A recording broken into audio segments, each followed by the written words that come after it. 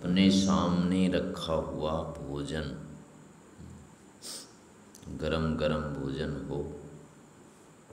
दाल हो चावल, खीर, हलवा, पूड़ी, जो भी सब्ज़ी। रखे रखे, ठंडा हो जाता है अपने आप। ऐसा कैसे होता है? अपने आप क्यों हो जाता है ठंडा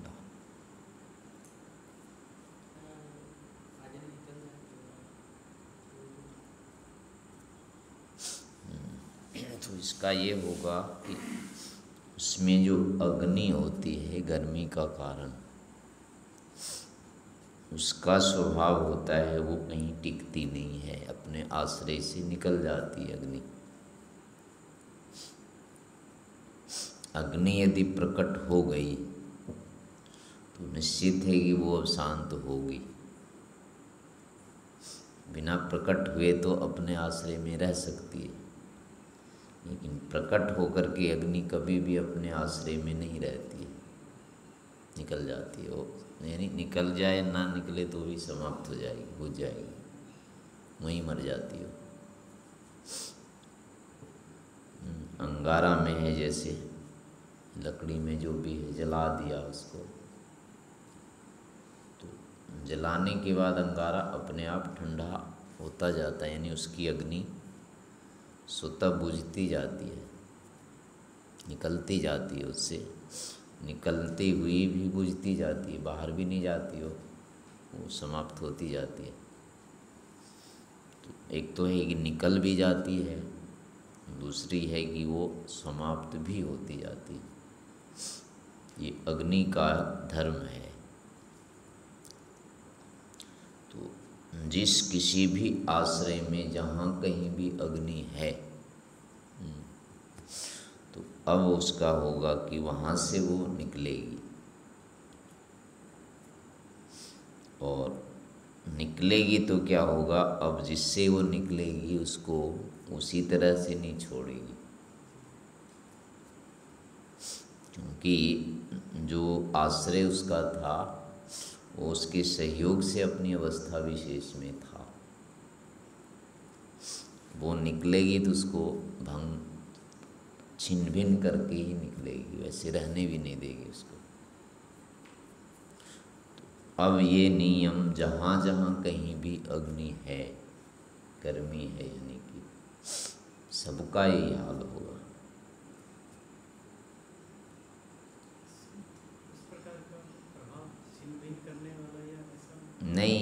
उसमें भी होता है यानी कि जैसे लोहा गर्म कर दिया।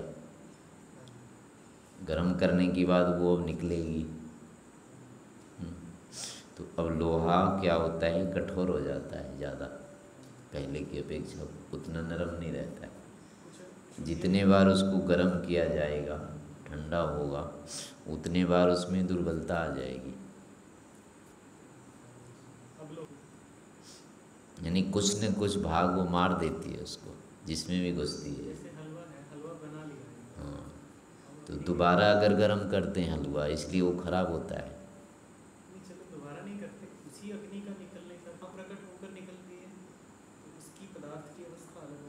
उसमें जहाँ अग्नि प्रकट हो रही थी ना जब हलवे में तो हलवे को तोड़ रही थी उसमें। अब वहाँ तो जहाँ भी ये घुसेगी या तो गर्म होती ही अग्नि, जहाँ घुसेगी या तो उसी समय तोड़ देगी उसको।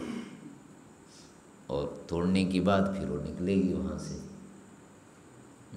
यानी उससे निकलने के बाद उसको कमज़ोर तो होना ही है। चाहे घुसते समय उसने कमज़ोर कर दिया, या निकलते निकलते कमज़ोर कर दे उसको। यानी जला, कुछ न कुछ तो करती है उसको।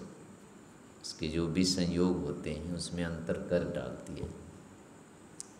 और दूसरी बात है कि जहाँ उसके अंग बन कर के रह रही है अग्नि। हम्म, तो उससे यदि वो निकल जाएगी तो उतना तो खोखलापन आ ही जाएगा उसमें। हम्म, ये बैठी नहीं रहती है। हम्म, निकलती रहती है इसलिए भोजन जितना ठंडा होता रहता है उतना खराब होता रहता है। जब तक है उसमें गर्मी अभी तो ठीक रहता है। और पूरी निकल गई तो वो खराब हो जाता है। फिर दोबारा आप जितने जितने बार उसको गर्म करेंगे, उतना उतना वो दुर्बल होता है भोजन भले ही गर्म करके खा लेते हैं, लेकिन वो अच्छा नहीं होता है। खाद्य पदार्थ को जितने बार गर्म करेंगे, उतना उसका जो सत्व होता है, कम होता जाता है या विकृत भी होता जाता है। तेल है, चाहे घी है, चाहे कुछ भी करो। भोजन भी वैसे ही है। इसको गर्म करके खा लेते हैं, लगता है वही है, लेकिन वो नहीं रहता है पहले वाला जैसा। तो इसलिए हुआ कि जहाँ जहाँ गर्म या तो अग्नि घुसती है या फिर घुस के निकलती है, उसकी खैरियत नहीं रहती है। वो, यानी उसकी आयु कम होती जाती है, सुनिश्चित है ये। अब जहाँ जहाँ भी समझो अग्नि का आश्रय है या प्रकटीकरण हो रहा है, निश्चय से अग्नि वहाँ से निकलेगी। और यदि निकलेगी तो फिर उसकी आयु छीन करेगी। अब जो भी ले लो जितने भी हैं, उसमें अपना ये शरीर भी आता है।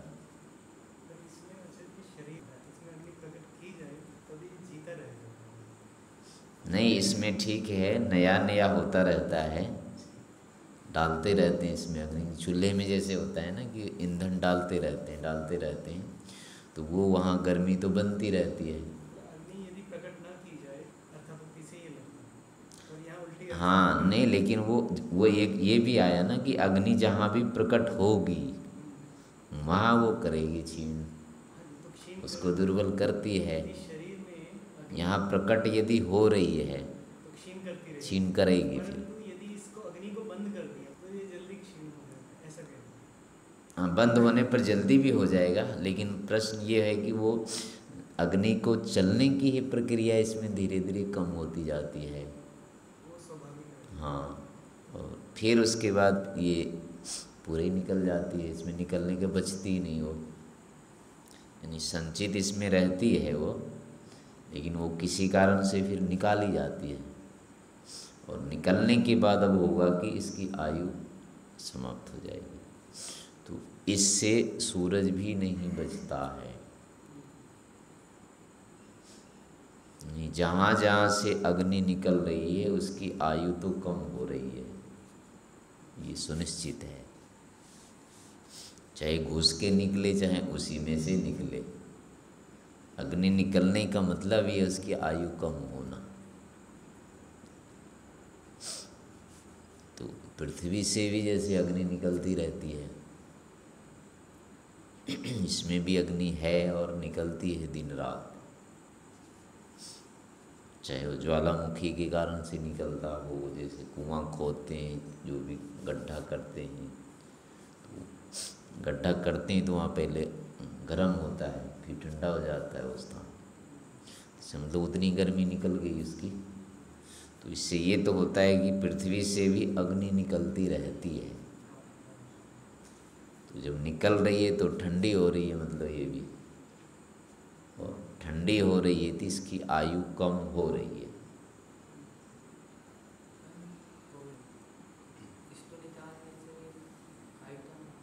वो तो तत्काल मारने वाली चीज़ है, वो तो पूरा भी निकला नहीं है उसका संतुलन।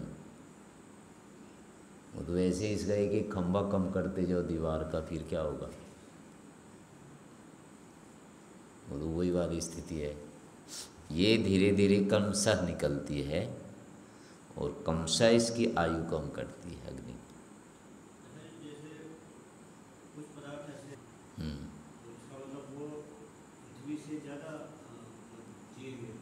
हाँ इसमें ऐसा देखो कि जैसे गाड़ी कोई है, लोहे की बनी है, लेकिन उसका पहिया जो है लकड़ी का है। तो वो कब तक चलेगा? तो चलो गुरु आदि ग्रह जो हैं, उसमें तो नहीं अग्नि, लेकिन इनका जो मूल है सूर्य, उसका क्या हाल होगा? अगर सूर्य नहीं रहेगा तो फिर क्या करेंगे ये?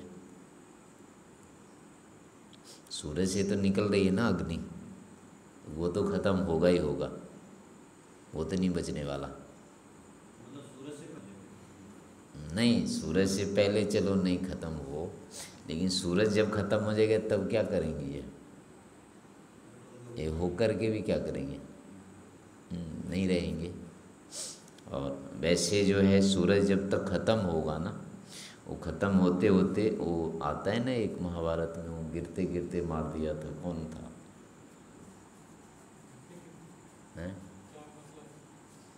महाभारत में एक योद्धा था। घटोत्कच था। तो ऊपर चला जाता था वो। तो ऊपर में ही मार दिया उसको। तो वो गिरते गिरते कई से मतलब हज़ारों कितनी सेना मार डाली उसने। मरने के बाद वो गिरा जब उन पर तो गिर करके ही मार दिया उसने, कितने सारे तो ऐसे ही ये जो बीच के हैं ना ग्रह उपग्रह, जब सूर्य टूटेगा उस समय, टूटते टूटते वो बिखरेगा जब, वो तो सारे को चौपट कर देगा उस समय। किसी को रहने नहीं देगा, वो अकेले थोड़े शांत होगा। कोई नहीं बचेगा पृथ्वी भी नहीं बची पृथ्वी तो वैसी भूस जा हो जाएगा इसका। उससे पहले हो सकती हो जाए। इसकी अग्नि निरंतर निकल रही है। तो निकलते निकलते थी वैसी ढीली हो जाएगी। पिचक जाएगी ये तो। तो और उधर से सूरज निकल गया इधर से पृथ्वी निकल गया तो बीच वाले का क्या करना है? हम्म, हमारा काम तो पहले हो जाएगा पूरा। हाँ वो अब जब सूरज नहीं रहा तो उनको रोकेगा कौन उसमें? खींच लेगा तो उसकी क्या स्थिति होगी? सीधे बचे रहेंगे क्या? इतने बड़े बड़े जब टकराएँगे तो वो तो नष्ट होंगे ही होंगे, बचेगा कोई नहीं फिर। हम्म। वैसे ये दूसरे लोगों में जाती नहीं है तारे। अपने वाले में ही टकरा टकरा के समाप्त हो जाते हैं। हम्म। हाँ वो तो एक गिनती का मापक है वो। आदित्य से हमारा जो शरीर होता है ना, वो प्रेरित होता है। प्रेरित करके वो हमारी अग्नि को निकालता है, उससे आयु घटती है हमारी। जैसे अभी रात को है, अभी इतनी फुर्ती शरीर में नहीं रहेगी स्फूर्ति और सूर्योदय होते होते आप देखेंगे कि जगह बैठा नहीं जाएगा। अभी तो रात भर पड़े रहो, कोई बाधा नहीं आएगी। लेकिन सूर्योदय होने के बाद पड़े नहीं रह पाएँगे। वो प्रेरित कर देता है एकदम से। उत्तेजित करता है हमारे शरीर को। तो ऐसा वो रोज़ करता है। एक बार हमारा शरीर ठंडा होता है। अभी रात में जैसे होगा। निष्क्रिय होता जाता है ये। और निष्क्रिय होने के बाद फिर वो चालू करता है इसको। इससे फिर कई चीज़ें निकल जाती इतने में। तो इतना काम रोज़ होता है समझो। यानी कुछ मसाला इसका प्रतिदिन निकलता है। तो ऐसे करके रोज़ ये कम होता जाता है। सब होते हैं सारे छीण होते हैं। इसमें तो उदाहरण यही है अग्नि इसमें निकलने के कारण से हम्म, हमारी जो एक तो है कि भोजन कर लेते हैं तो उससे लगता है कि गर्मी फिर आ गई लेकिन ये वो उदाहरण वाला है जैसे भट्टी में ईंधन झोंकते रहेंगे तो तो वो चालू रहेगा लेकिन उसके ईंधन जाना ही बंद हो जाए उसमें तो क्या होगा? तो हमारे शरीर में क्या हो रहा है कि धीरे धीरे इंजन ही बंद होगा वो। ईंधन ही नहीं इसका जाएगा। यानी जो जाठराग्नि है हमारी, पाचन कम होता जाता है शरीर का। बाल्यकाल में जितना तेज रहता है, उतना यौवन में भी नहीं होता है, मात्रा तो बढ़ जाती है उसकी चौड़ाई। लेकिन उतनी जठराग्नि तीव्र नहीं होती है। और यौवन के बाद तो धीरे धीरे वो कम होने ही लग जाती है। बुढ़ापे में इतनी नहीं रहती है भूख। तो अब जब जठराग्नि कम हो गई तो तो अब उत्पन्न कहाँ होगी? अग्नि उत्पन्न नहीं होगी। तो जब नहीं उत्पन्न होगी तो इसके जो बच्चे हैं वही ठंडे होंगे और भी। तो धीरे धीरे शरीर भी ठंडा हो ही जाएगा। यानी अपने आप हो जाएगा। इसी अग्नि के कारण से अग्नि के कारण से ये गर्म रहता है। और वो अग्नि का स्वभाव निश्चित हो गया कि वो बैठती नहीं अपने आश्रय में। उसको रोक के रखा नहीं जा सकता। है बिजली को जैसे रोक के बाँध के नहीं रख सकते इसको। हम्म, है? ना बैटरी में दूसरा पदार्थ होता है बिजली थोड़ी रहती है। बिजली इकट्ठी नहीं होती है। हाँ उसके जो अवयव होते हैं वो सक्रिय हो जाते हैं। हाँ सभी जगह वही होता है। ट्रांसफार्मर में बिजली बनती थोड़े वो तो कम अधिक करता है बस। तो उसकी जो बैटरी होती है उसमें जो कुछ अवयव होते हैं वो सक्रिय होते हैं उससे। सक्रिय होकर फिर दोबारा उत, बिजली उत्पन्न करने में समर्थ हो जाते हैं। बिजली इकट्ठी नहीं होती है कभी। हाँ अवयव होता है उसका, सक्रिय होता है। नहीं नहीं, उसकी वो मात्रा होती है कि इतने बार ये सक्रिय हो पाएगा। अगर घुसने वाला रहता ना तो तो खराब ही नहीं होता वो। चार्ज करते करते जैसे चार्जर सेल होता है तो उसकी सीमा होती है कि इतने बार चार्ज होगा ये। उससे ज़्यादा नहीं होगा चार्ज। तो लेकिन अगर घुसने की होती बात तो उसमें सीमा नहीं चाहिए, होनी चाहिए थी वो तो जब टूटता तो भले टूट जाता वो तो क्योंकि ये जैसे अब ये बोतल होता है या डिब्बा है, उसमें कितने बार रखो, कितने बार निकालो उसका क्या अंतर पड़ता है? वो तो डिब्बे की अपनी आई जितनी है, उतनी तक चली जाएगा वो तो। उसमें दस बार दिन में रख दिया और दस बार निकाल दिया तो जल्दी डिब्बा टूट जाएगा, ऐसा तो ही नहीं। वो, उसमें डालने निकालने का कोई अंतर नहीं पड़ता है, लेकिन इसमें तो अंतर पड़ता है। इतनी बार तक ये चार्ज होगा उसके बाद नहीं होगा चार्ज तो इसका मतलब है कि उसके अवयव विशेष हैं। हाँ। उसके अवयव इस ढंग के हैं जो सक्रिय होते हैं। बिजली के कारण से ही होते हैं वो।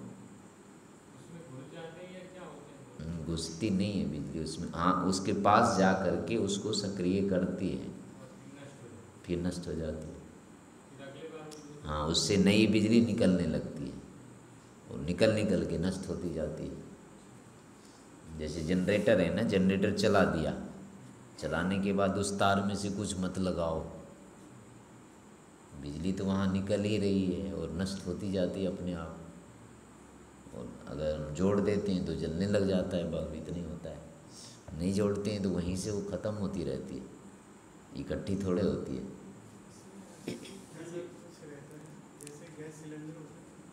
बटन दबाने से, चाहे बैटरी का कहीं भी होता है, बटन दबाने से फिर दोबारा नई बिजली हाँ वही नहीं करने लग जाता है वो। एक बार मतलब वो उस तरह सक्रिय हो जाता है कि आगे प्रेरित करेगा उसको। हाँ तो वही है ना वो, जैसे कमानी को कितने बार वो करते रहते हैं, चाबी देते हैं, गाड़ी की पहले जैसे होती थी। तो वो धीरे धीरे फिर वो ढीली हो जाती है ना, कितनी कुछ करो। बहुत दिन तक नहीं चलेगी वो, जितना करते रहो। ढीली हो जाती है अपने आप। वही है अपनी जठराग्नि भी ऐसे ही होती है। ये धीरे धीरे धीरे धीरे कम होती जाती है। जब कम होती जाएगी तो वो अग्नि बनेगी नहीं फिर। जब अग्नि बननी बंद हो जाएगा तो अब निकलने वैसे ही नहीं निकलेगा ये गर्म ही नहीं होगा। तो, तो उस रूप में शरीर और ये क्रिया जो होती है अपने आप होती है बस। इसकी व्यवस्था इस ढंग की है करो ना करो ये तो होगा। जैसे अग्नि को यानी खाना भोजन पंखा चलाओ नहीं चलाओ तो ठंडा होगा। हम्म, ऐसे शरीर का भी है कि ये तो ठंडा होगा। ऐसे पृथ्वी का है सूर्य का चाँद का सबका ऐसा ही है। ये धीरे धीरे धीरे धीरे अपने आप ठंडे होते जाते हैं। तो इस रूप में पूरा ब्रह्मांड जो है अपने आप एक दिन समाप्त हो जाएगा। कोई नहीं बचेगा।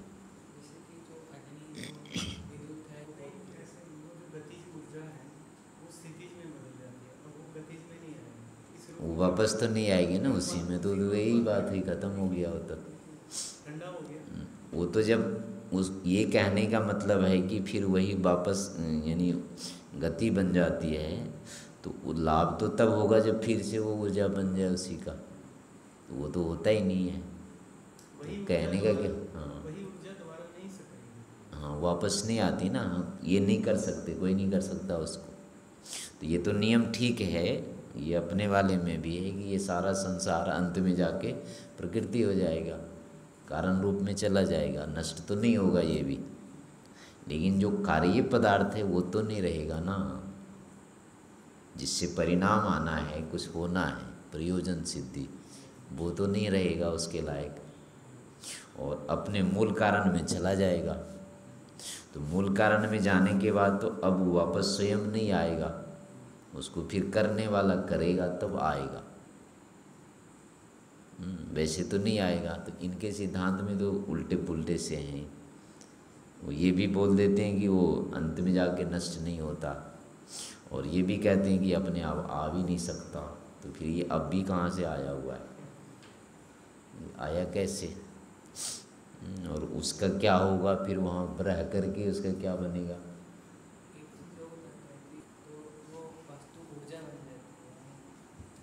ऊर्जा बन के क्या होगा फिर? हाँ तो बन के तो कुछ होगा ही नहीं तो आधा अधूरा ही बात हुई ना वो। होना तो ये चाहिए कि कोई भी नित्य पदार्थ यदि है तो वो वापस इसमें फिर आ जाएगा। उसकी नित्यता तो तभी हुई ना। फिर से वापस आ जाए। जो यहाँ से घूम के वापस नहीं आता, उसको थोड़े कहते हैं, वही आ गया। जो बना है, उसका मतलब है कि वो वापस आना चाहिए उसको। तब तो उसके हो, बने रहने का मतलब हुआ। नहीं तो मतलब ही नहीं हुआ। तो ये सब दिन बना रहेगा तो क्या करेगा उसका सब दिन? केवल रहेगा ही ना। कुछ होना तो है नहीं उससे। तो उनके वाले सिद्धांत में तो वही अधूरापन होता है। अपने वाले में है कि वो फिर से वापस किया जाएगा बनाया जाएगा। हम्म, पर यहाँ केवल विशेषता ये है कि जो बनी हुई चीज़ें हैं नष्ट तो हो जाएगी बचाया नहीं जा सकता इसको। हम्म, अकारण होगी बिना कारण से इसमें नाश हो ही रहा है। लेकिन ये चीज़ें करने पर फिर होती है तो जब किया जाएगा तब तो ईश्वर के द्वारा किया जाएगा। लेकिन यहाँ अपने को ये लेना है, हम इसके भरोसे नहीं बैठे रह सकते कि अभी तो है ये तो क्या होगा? अभी ये है नहीं, ये जा रहा है। हम्म। ये लगातार है कि ये रहने वाली चीज़ नहीं है जाने वाली चीज़ है क्योंकि लगातार ये जा रही है। ये अग्नि जो निकल रही है, वो निरंतर निकल रही है। तो उसके निरंतर निकलने के कारण ये वस्तु निरंतर ही नष्ट हो ही रही है। नष्ट हो जाएगी, ये नहीं है। आग लग चुकी है जिसमें उसको नहीं कहेंगे कि नष्ट हो जाएगी। तो है, नष्ट हो रही है। यानी हो रही है का मतलब हो गई।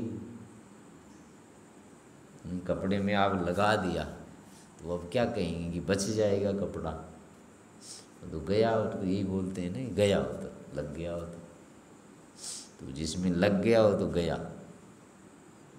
नहीं वो बचा हुआ है, ये नहीं तो ये अपनी बुद्धि काम हर समय ये करती है कि अभी तो है।